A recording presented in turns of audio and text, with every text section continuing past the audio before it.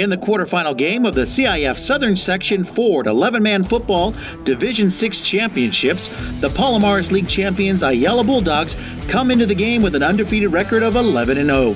They hosted the Crespi Celts, who were tied for first place in the Angelus League with an overall record of 7 3. Crespi won the coin toss and elected to receive the ball.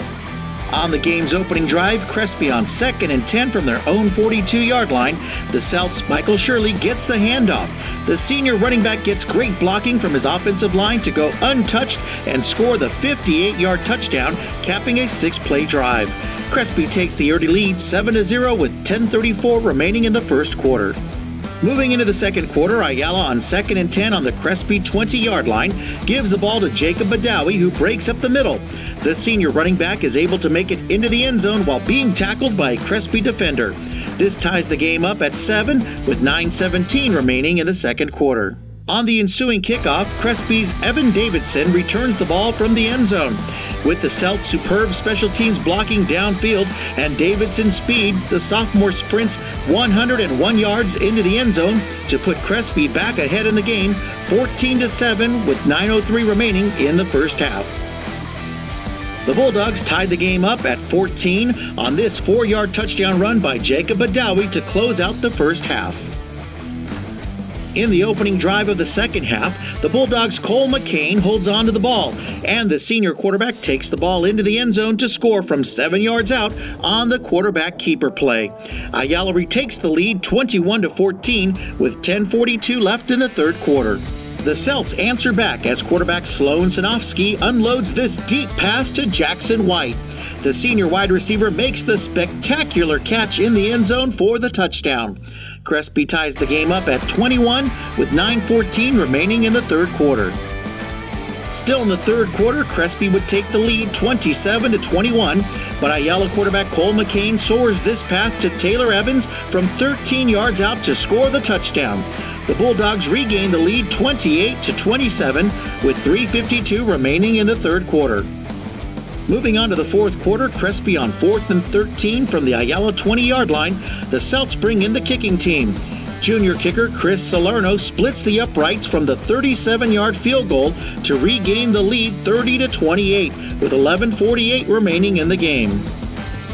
However, the Bulldogs on second and five from the Crespi 10 yard line gives the ball to running back Jacob Badawi, who runs the ball to the right side and with the spin move makes his way into the end zone for the touchdown. Ayala retakes the lead 35 to 30 with 3:57 left in the game. A big play for Crespi in the game came when Michael Nuesca gets the handoff. The junior running back somehow keeps his knees from touching the ground and score a touchdown on the 22-yard play. Crespi is successful at the two-point conversion to take the lead yet again over Ayala 38 to 35 with 209 remaining in the game. With under two minutes remaining in the game, the Bulldogs on second and 10 from their own 30 yard line. Ayala quarterback Cole McCain throws a pass, and it's intercepted by Crespi's Chance Tucker.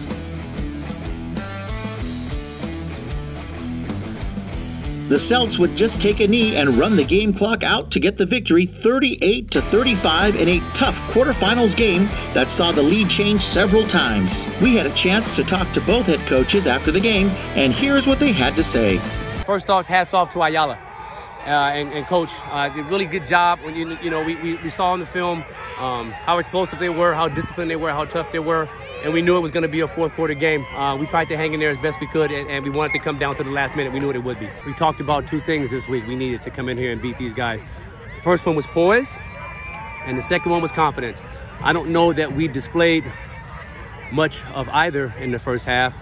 I thought we played a tremendous amount of both in the second half, and, and we did it. Um, that, that's a tough team, and we needed to play our best when it matters most, and we were able to accomplish that tonight. I'm, I'm so proud of this this team. You know, this is uh, you know it hurt these seniors. You know, I, I got a little choked up because uh, they came in as freshmen when I got my head coaching job, and you know they, have been here all four years, and you know they did some things here at Ayala that haven't been ever done. You know, or at least not in a long time. And so I'm just proud of the of the way they competed. You know, we just uh, there was a couple mistakes that you know we're used to not making all season long, and we made those mistakes, and uh, whether it was special teams, penalties you know some some mental mistakes, and it's going to cost you against good football teams. This is a great character team. The seniors on this group, I mean, you know, there's they're crying and, and just feeling terrible right now. It's because they care and they play with heart all season. They played with passion. They have fun. You know, it's, it's going to be hard to replace a team like this. The Ayala Bulldogs season ends with a record of 11 and 1, and the team makes the school's history books for the program's longest winning streak. Crespi will move on to the semifinal game and host Pacifica High School. Remember to keep up to date with all the latest prep sports action by checking out the SportsSceneTV.net website. Follow us on Twitter and like us on Facebook at Sports Scene TV. You can also follow us on Instagram and subscribe to our YouTube channel, both at Sports Scene TV 1.